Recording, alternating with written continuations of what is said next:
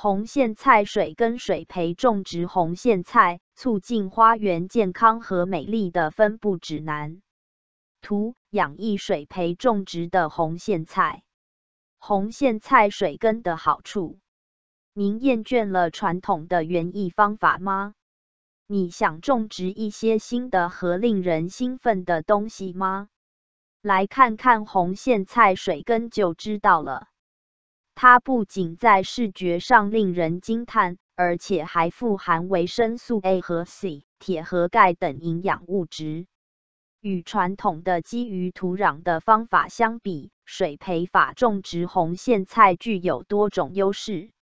水培园艺可以精确控制生长环境，从而实现更快的生长和更高的产量。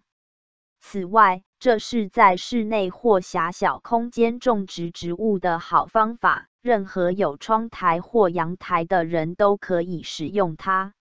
水培种植红苋菜有几个好处，包括能够在更小的空间内种植更多的食物。水培系统比传统的土壤园艺使用更少的水，使它们更加环保。使用水培法。土壤传播的疾病和害虫的机会也更少，从而使植物更健康。而且，由于水培系统通常在室内种植，因此无论天气状况如何，它们都提供全年种植的机会。红苋菜水根所需材料，要开始水培红苋菜，您需要一些关键材料。首先，您需要一个水培系统，其范围从简单的 DIY 设置到更复杂的商业系统。您还需要一种生长介质，例如椰子壳或岩棉，它们可以将植物固定到位并提供支撑。接下来，您需要一种营养液，可以预先混合购买或使用水培营养素，从头开始制作。最后，您需要红苋菜种子。建议购买非机改优质芽菜用红苋菜种子，可以在网上购买或到付款。芽菜用种子除有高发芽率的特性外，还是通过食品进口检疫的种子，所以它不仅是种子，更是可以直接食用的食物。为红苋菜水根设置水培系统。准备好材料后，就可以设置红苋菜水培系统了。第一步是为您的系统选择一个位置。如果您在室内种植，请确保您可以使用电源和充足的光线。如果您在户外种植，请确保您的系统免受各种因素的影响，并且有充足的阳光。接下来。根据制造商的说明或您自己的 DIY 计划，组装您的水培系统。系统设置完成后，添加生长培养基和营养液。红苋菜水跟营养液的配置。营养液是水培园艺的重要组成部分，因为它为植物提供了生长和茁壮成长所需的所有营养。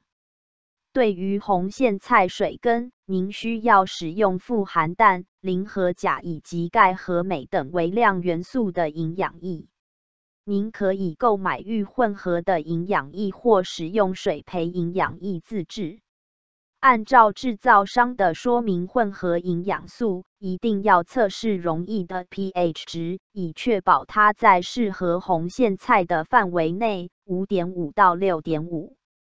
在水培系统中种植和照料水根的红苋菜。设置好水培系统并准备好营养液后，就可以种植红苋菜种子了。首先将种子浸泡在水中八到十二小时，以帮助发芽。接下来将种子均匀地撒在生长介质的表面，确保它们没有埋得太深。红苋菜的种子应相距约二到三英寸。播下种子后，用一层薄薄的生长介质覆盖它们，并根据需要调整营养液的 pH 值。红苋菜水根需要温暖潮湿的环境才能生长，因此请确保您的水培系统设置在温度范围为二十五到摄氏三十度且湿度为五十到百分之七十的位置。您还需要定期监测营养液水平和 pH 值，根据需要添加更多溶液，并根据需要调整 pH 值。水根的红苋菜的采收与利用。红苋菜水根通常需要四到六周才能成熟，此时可以收获。要收获水根的红苋菜，只需用锋利的剪刀或小刀剪断植物基部的茎即可。您可以根据需要收获单片叶子，或一次收获整株植物。水根的红苋菜是一种用途广泛的植物，可用于各种菜肴，从沙拉和炒菜到汤和炖菜。叶子略带甜味和坚果味，可以生吃或煮熟食用。红苋菜水根常见问题及解决方法，与任何园艺方法一样，水培园艺也有其自身的一系列挑战。红苋菜水根的一个常见问题是营养缺乏或不平衡，这会导致生长发育迟缓、叶子变黄和产量低下。要解决这个问题，请确保您的营养液正确混合并调整到适当的 pH 范围。您可能还需要向溶液中添加额外的营养素，以帮助纠正任何不平衡。水培园艺的另一个常见问题是害虫侵扰，例如叶螨或蚜虫。为防止害虫，请确保您的水培系统干净且没有碎屑，并定期监测您的植物是否有虫害迹象。您还可以使用硬链油或杀虫皂等天然害虫防治方法来帮助驱除害虫。红苋菜水根园艺成功的秘诀：为确保红苋菜水根园艺成功，您应牢记一些提示。首先，确保您的水培系统设置在光照充足且温度可控的地方。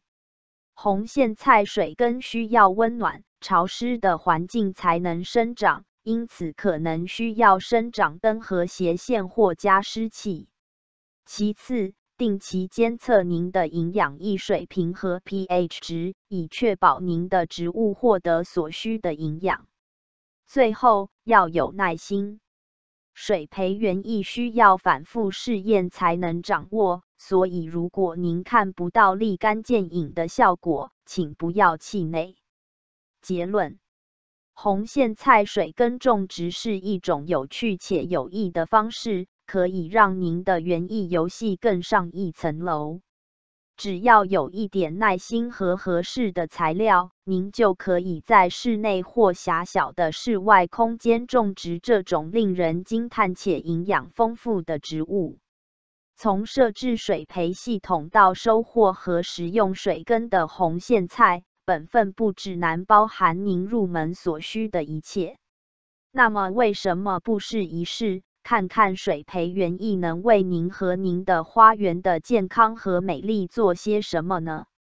延伸查阅红苋菜水根芽菜种植方法与常见芽菜育苗全攻略，或请自行网搜太平洋芽菜种子问与答常见问题解说 Q 八，会有您满意的答案。芽菜自己在家简单种，有机无毒，自己来把关。网络搜寻太平洋芽菜种子。